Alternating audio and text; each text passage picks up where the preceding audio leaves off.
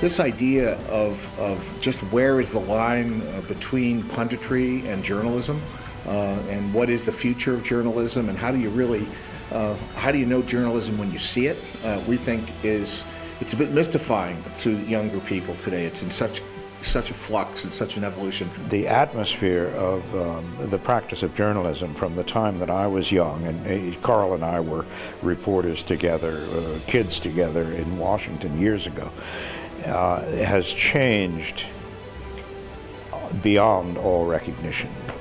We need to look to young people in our profession to help answer some, some of these questions. The modern New York Times is a great newspaper. I think there's great reporting still, but I don't think that there is a receptivity for great reporting. I think intelligent consumption of news is part of the absolute necessity of having a decent country and having an intelligent electorate.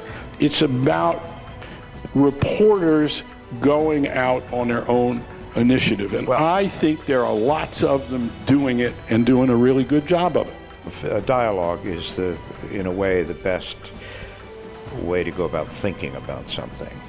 And that's what Plato thought, you know. And so uh, that's what we're up to.